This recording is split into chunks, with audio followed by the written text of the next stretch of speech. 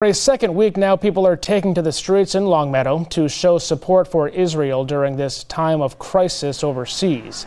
Residents in that area gathering tonight just over the Springfield Longmeadow line in solidarity with Israel.